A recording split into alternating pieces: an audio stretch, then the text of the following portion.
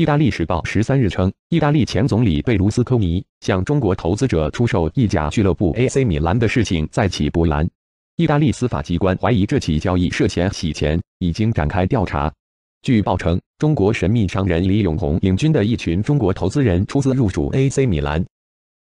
一月十三日，意大利时报报道，意甲足球劲旅 AC 米兰去年被中资收购。意大利检方怀疑是否有以洗钱为目的灌水交易，已经展开调查。意大利新闻报也报道称，意大利前总理贝卢斯科尼当年向中国买家出售旗下 AC 米兰足球俱乐部时，涉嫌从事洗钱行为。米兰检察机构已经就此展开调查。报道说，米兰检方想探明中国买家为买下七次赢得欧洲冠军联赛的 AC 米兰，支付球队前东家。意大利前总理贝卢斯科尼的七点四亿欧元是否有蓄意灌水，或是为了将大笔资金从境外带入意大利？二零一六年八月，掌控 AC 米兰俱乐部股权的 Fininvest 集团发布声明称，与中方达成协议，将 AC 米兰的估值定在七点四亿欧元，以及大约二点二亿欧元的债务。法新社报道，贝卢斯科尼经营 AC 米兰三十多年，期间球队战绩斐然，共计夺下二十九座奖杯。但在去年四月十三日，由李永红领军的一群中国投资人出资入主 AC 米兰，这一中资财团买下 AC 米兰百分之九十九点九三的股份，并接手球队共计二点二亿欧元的债务。二零一七年十一月，《纽约时报》刊发《神秘的中国老板能化解 AC 米兰的财务危机吗》的文章，称李永红对 AC 米兰的收购似乎已成为一系列存在众多问题的中国交易的象征。文章说，李永红向意大利足球官员描述自己拥有一个矿业帝国，然而他在矿业界罕为人知。中国的企业记录显示，至少在官方文件中，李永红的矿业帝国是由他人所拥有的。但 AC 米兰的发言人表示，李永红对其矿业业务的控制权已由参与交易的律师和银行核实。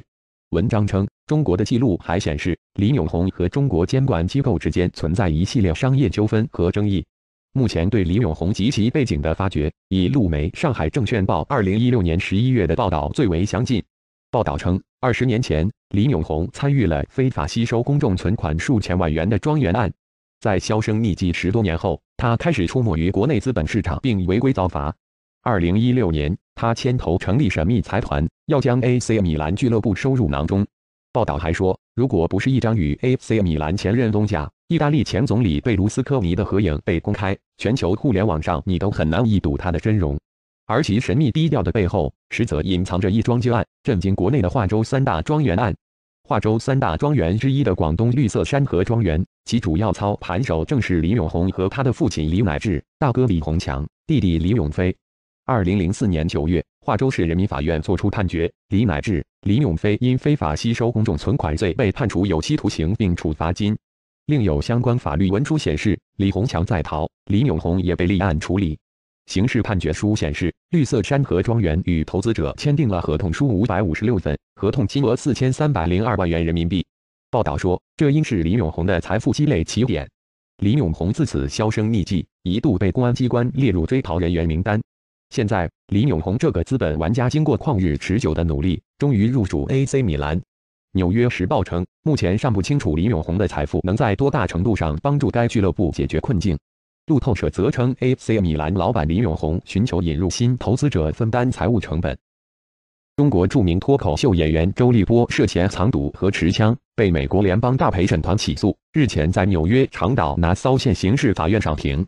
若罪名成立，他将面临三年半到十五年监禁。据美国中文世界日报报道，周立波去年一月十九日在长岛开车蛇行被拦截，警方从车中搜出毒品与枪械，当场逮捕他与同车的唐爽，两人隔天获保释。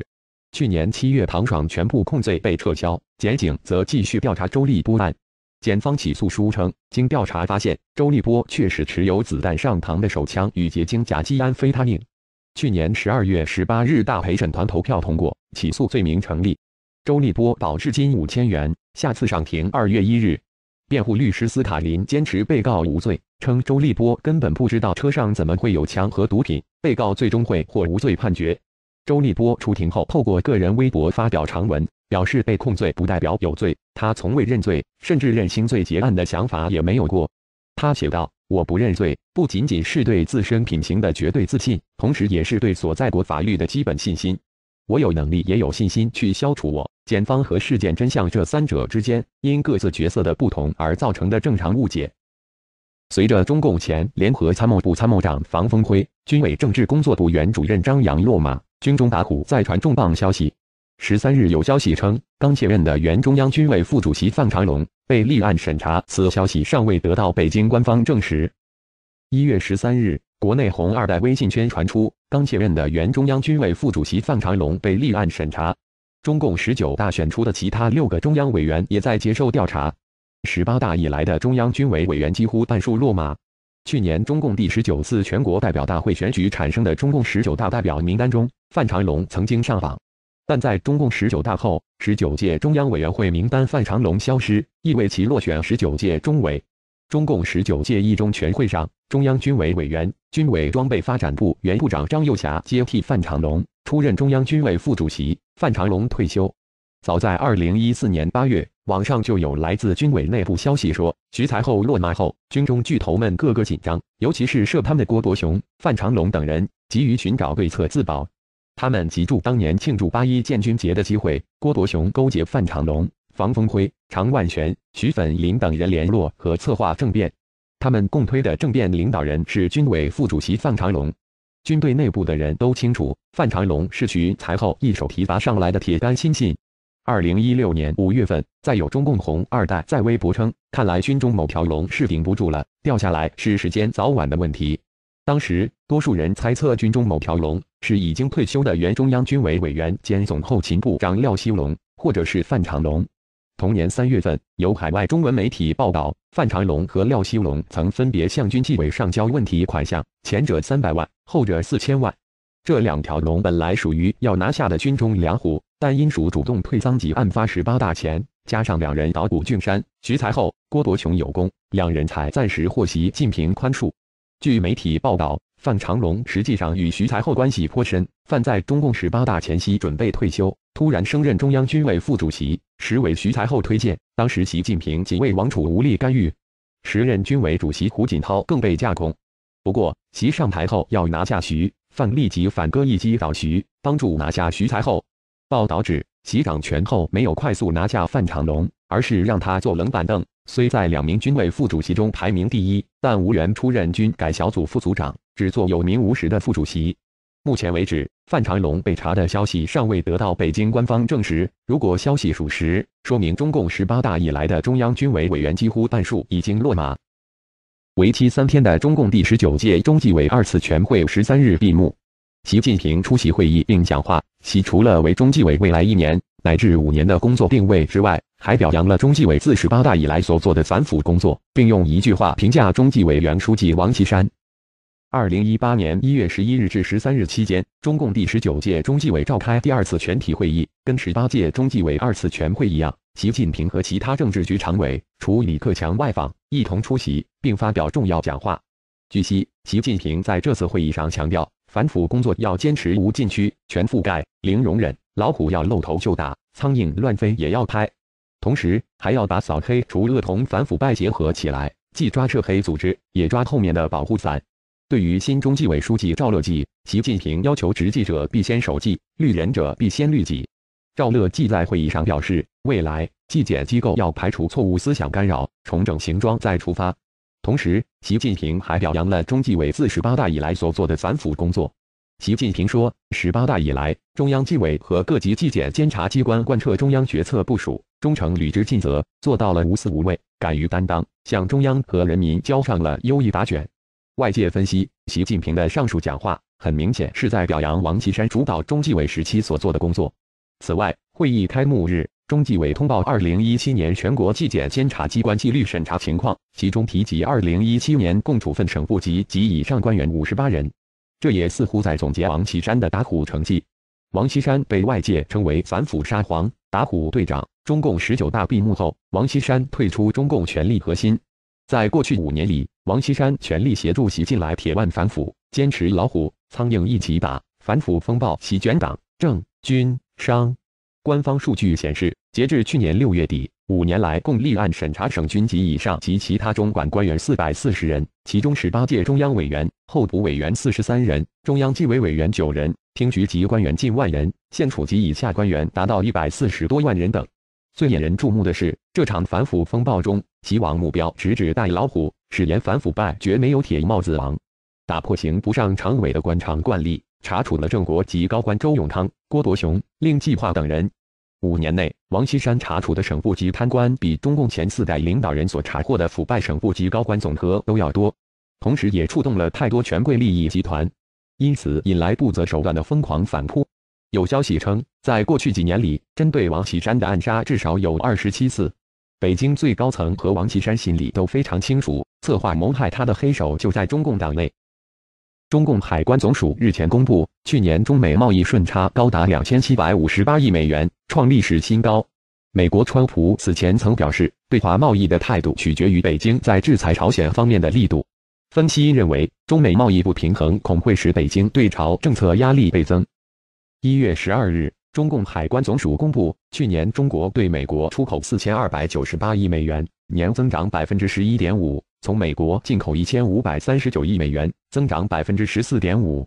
中美贸易顺差高达两千七百五十八亿美元，较去年的两千五百零七亿美元增长近一成，创历史新高。华尔街日报报道称，中美贸易顺差扩大至两千七百五十八亿美元，超过二零一五年的两千六百一十亿美元的记录，这可能会招致川普政府的批评，中美经贸紧张关系或升温。中美贸易不平衡一直遭到美国的批评，川普认为。庞大的美中贸易逆差体现中共不公平的贸易行为。他上台后直言不会让这种情况继续下去。不过，从目前情况来看，中美贸易差距并没有改观。一月十一日，川普接受《华尔街日报》专访时称，在贸易问题上，美国已加大对北京的强硬程度，但没有达到他原本期望的水平。川普表示，就像他在竞选期间所承诺的，他本应对中美贸易采取更严厉的措施，纠正这种不平衡。不过，在迫使朝鲜契合问题上，北京为华盛顿提供了帮助。此前，在朝核危机影响到半岛局势的情况下，川普曾表示，美国会把北京施压朝鲜作为贸易上让步的交换条件。去年十一月，川普访华时再度就贸易和朝鲜问题向北京施压。习近平承诺要实现中美健康平衡的经贸关系，同时也承诺要努力实现朝鲜无核化。外界认为，北京虽然在制裁朝鲜上展现出与以往大不相同的姿态，不过背地里似乎仍与朝鲜暗通款曲。近日，美国的侦察卫星发现中朝两国的船只在海上对接进行石油交易，这显然违反了联合国安理会最近出台的向朝鲜限油的禁令。川普对中共这种阳奉阴违的流氓手段非常恼火，他在推文中批评中共做坏事被逮个现场。分析认为，目前朝核问题仍是国际关注的焦点，而中美在贸易问题上的矛盾也日渐加大。在这种情况下，北京对朝政策恐压力倍增。朝鲜政权即参加平昌冬奥会，展开拉拢韩国、排斥美国的舆论攻势。朝鲜代表在韩朝会谈中声称核武不针对韩国，但朝鲜官媒随后狂言，作为核武强国威震天下，可全力展开统一大业。一月十二日。朝鲜官媒《劳动新闻》刊登出劳动党党魁金正恩视察朝鲜国家科学院的演说。金正恩强调，由于自己对科学技术的重视，才有了核武与弹道导弹开发的进展，并声称，即使敌人继续制裁十年、一百年，也没有克服不了的难关。同日，朝鲜另外一篇官媒社论中提到日前的韩朝会谈，赞扬这是金正恩南北关系方针的大变动，还称朝鲜作为核武强国威震天下，五等民族可以安心并全力展开统一大业。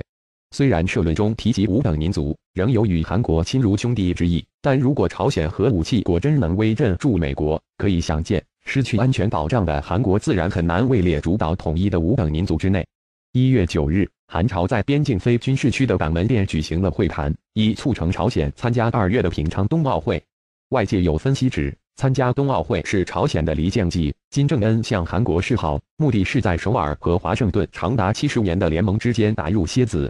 双方会谈后发布的联合新闻稿似乎也证实了朝鲜这种意图。在新闻稿中有这样一句表述，即有关南北关系的一切问题，都应由我们民族的当事者自己解决。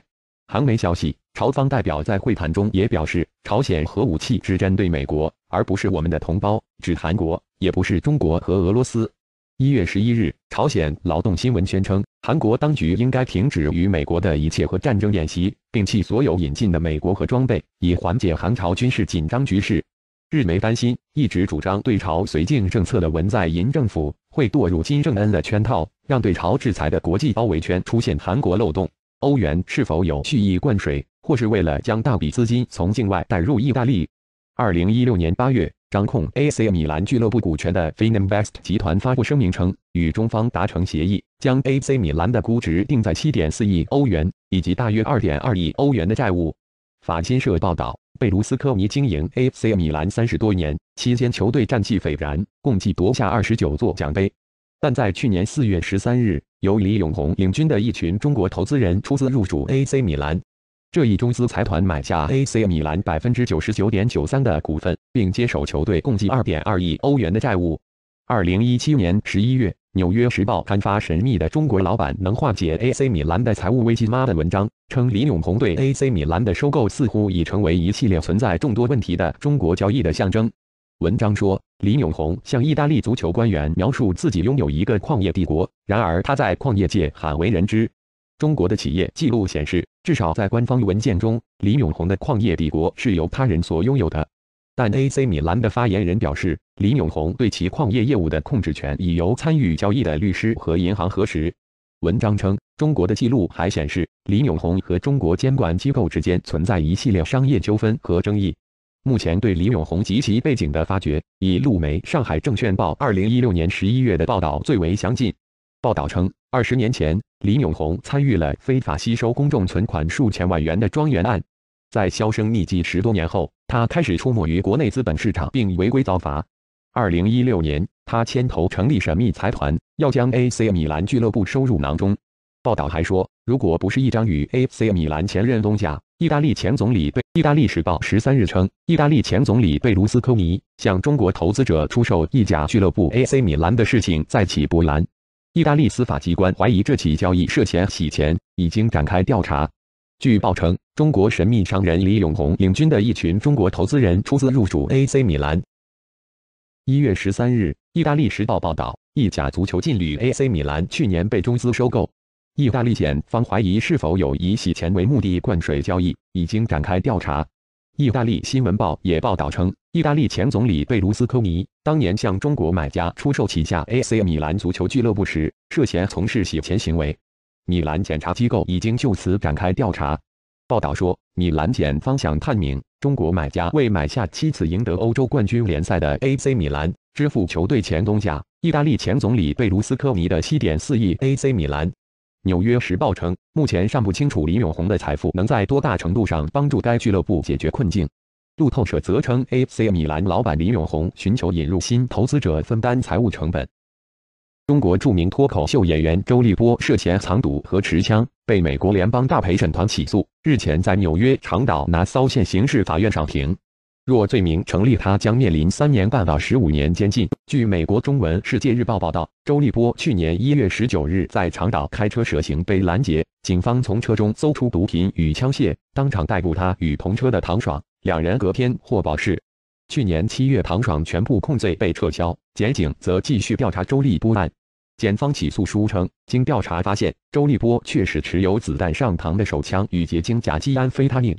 去年十二月十八日，大陪审团投票通过起诉卢斯科尼的合影被公开，全球互联网上你都很难一睹他的真容，而其神秘低调的背后，实则隐藏着一桩旧案，震惊国内的华州三大庄园案。华州三大庄园之一的广东绿色山河庄园，其主要操盘手正是李永红和他的父亲李乃志、大哥李洪强、弟弟李永飞。二零零四年九月，化州市人民法院作出判决，李乃志。李永飞因非法吸收公众存款罪被判处有期徒刑并处罚金。另有相关法律文书显示，李洪强在逃，李永红也被立案处理。刑事判决书显示，绿色山河庄园与投资者签订了合同书五百五十六份，合同金额四千三百零二万元人民币。报道说，这应是李永红的财富积累起点。李永红自此销声匿迹，一度被公安机关列入追逃人员名单。现在，李永红这个资本玩家经过旷日持久的努力，终于入主